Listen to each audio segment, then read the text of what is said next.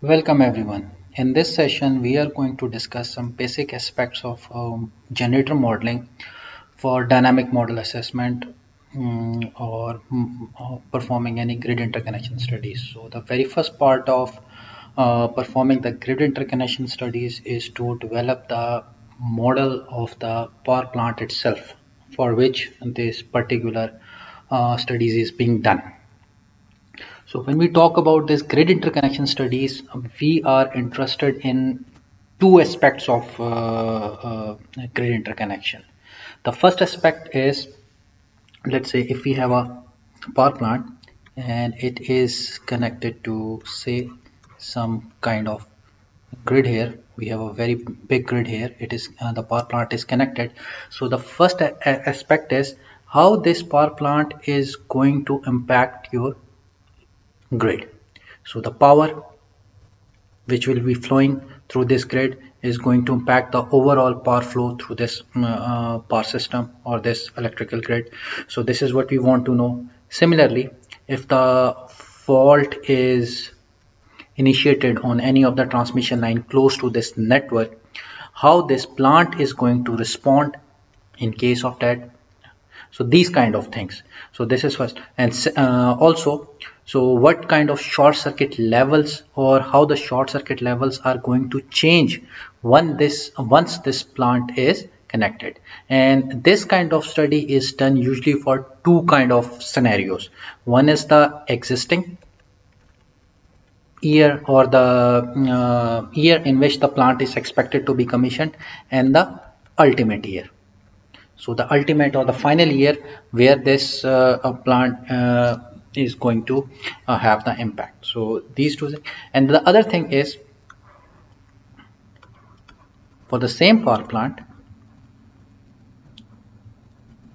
how this grid is going to impact this power plant. So here we are more interested in the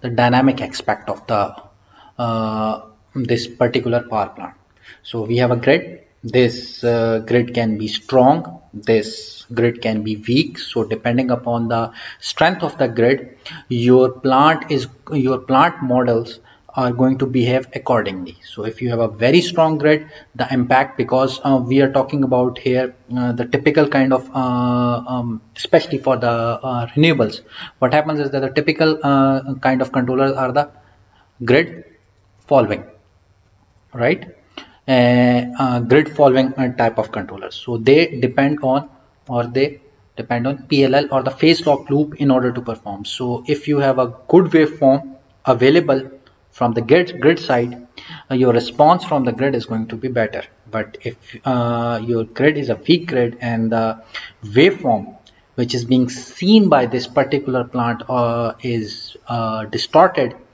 uh, it cannot lock to that uh, phase of that particular waveform. As a result we are going to get instability or uh, the inverter or the plant is not going to behave as expected. So uh, for this particular uh, session we are interested in the development of uh, uh mm, or the modeling of the plant for this kind of setup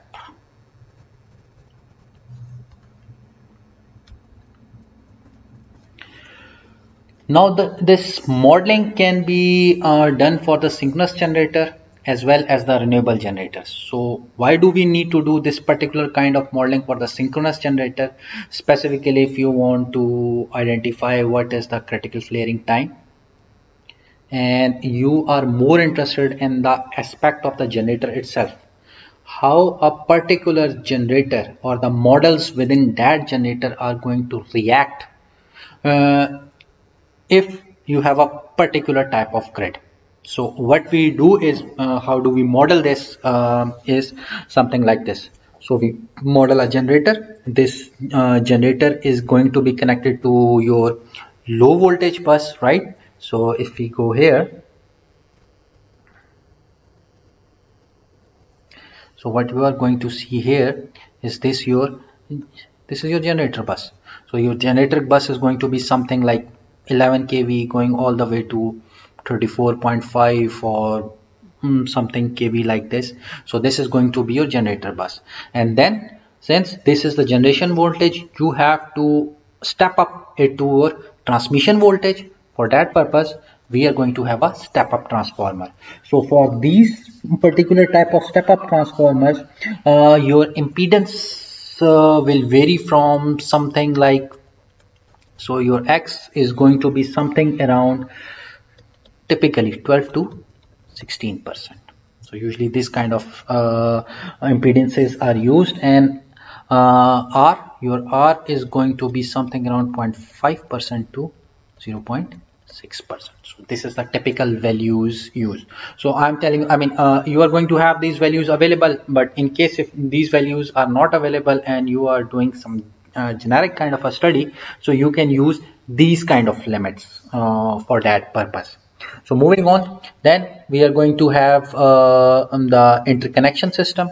So what is the interconnection system? Uh, this can be the cable connected to the point of connection or this can be your uh, high voltage or extra high voltage connection. So you model that connection. For that connection, all you need is your R, X and B values.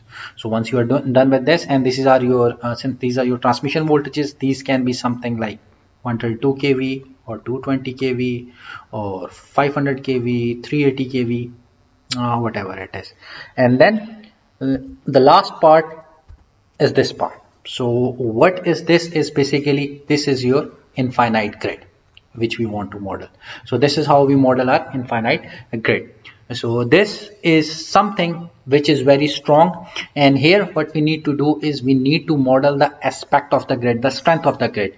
So what will be the strength of the grid? How much short circuit contribution is coming from the grid towards this plant side which can be given in the form of your uh, two things. The first thing is the short circuit ratio and your x by r of the grid so more short circuit ratio will mean that you have more strength in the system. The lower short circuit ratio will mean that you have less strength in the system. So by varying the strength and X by R of the system, you can replicate different kind of uh, uh, grid, um, uh, I mean uh, uh, grid uh, mm, circumstances or grid scenarios and for each you, you can check these values. Now for this particular SCR and for this XIR, you are basically what you are doing is you are trying to calculate your Z source. So once we talk about so your source impedance.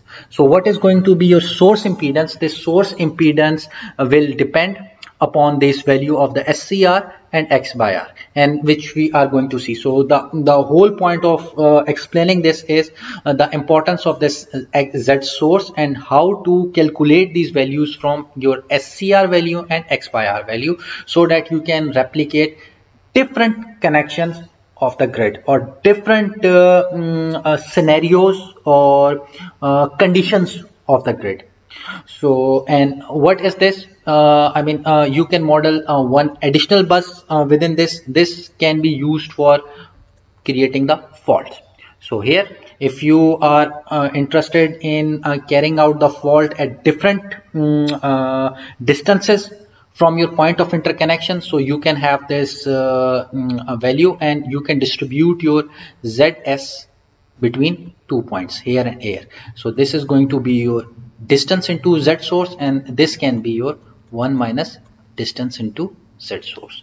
So let's say you want to go with the 90% of your z source. So this means that the fault is uh, approximately 10% of the value. So if you have a 100 kilometer line so this means that uh, fault is at somewhere 10 kilometers from your uh, point of connection. So so this way uh, i mean you can uh, model different values of your uh, source impedance and uh, the distance between your main grid and your generator.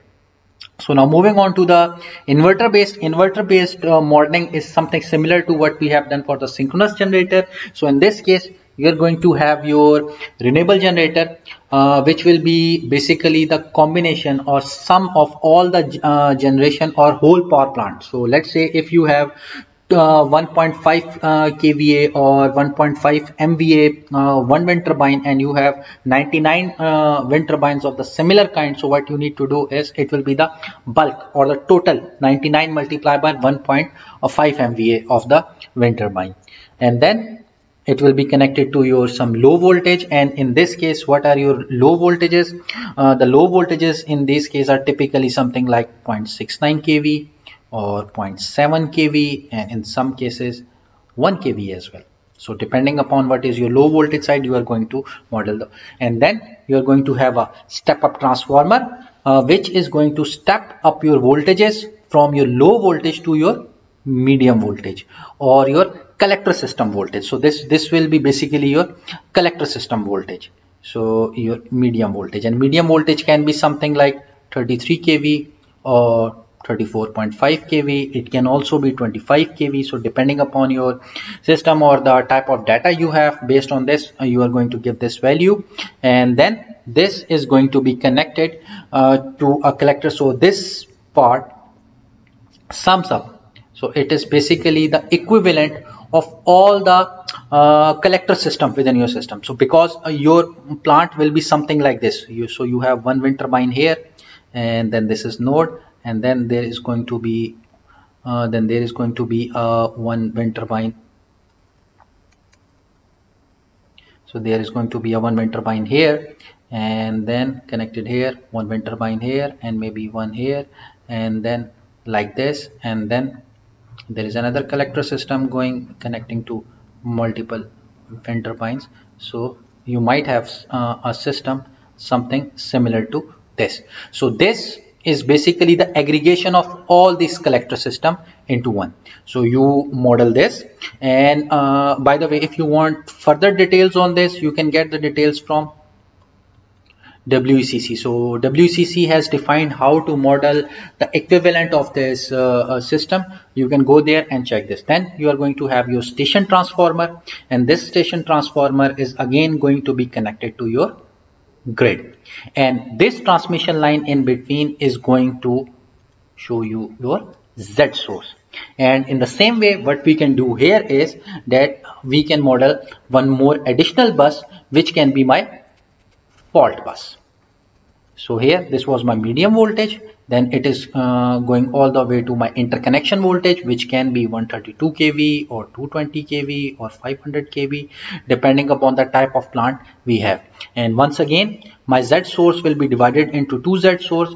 This part can be termed as 1 minus D and this part can be termed as d. So that depending upon the uh, uh, distance of the fault from your point of interconnection you can change this d accordingly in order to get your um, particular source impedance so now how this source impedance is calculated from your SCR value and X by R value which is typically provided uh, uh, by a utility or your utility might say that uh, there are different values of SCR and X, uh, for which you want these values.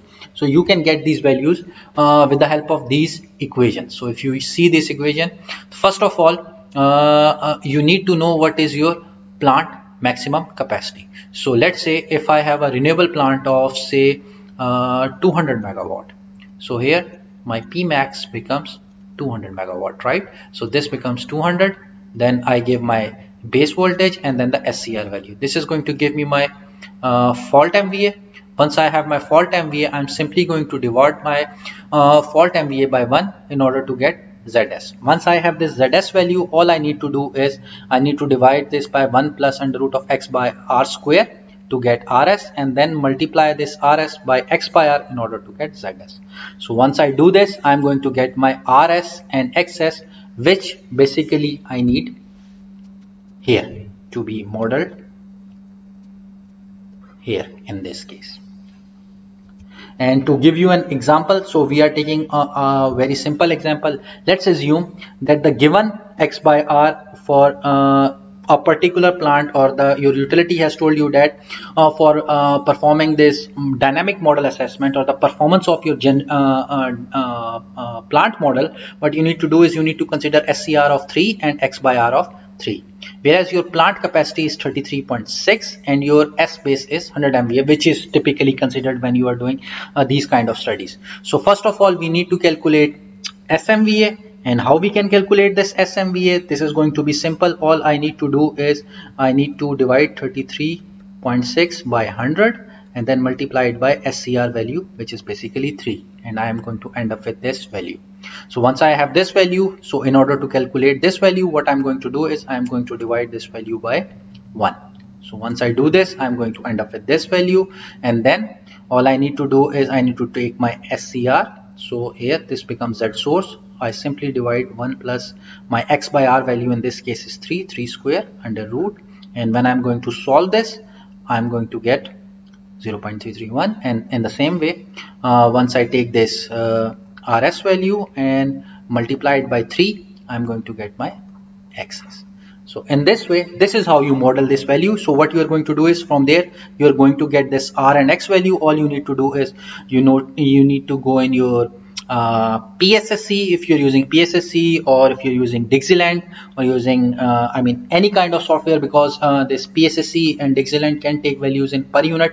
So if you are working with a per unit PSSE then you need all you need to do is you need to just simply copy and paste these values here in your R and X tag but if you are using DIgSILENT or PSCAD where you need to provide uh, values in the form of uh, you say the actual values. So for the actual values what you need to do is you need to calculate z base. And your z base is going to be your kv square divided by your s base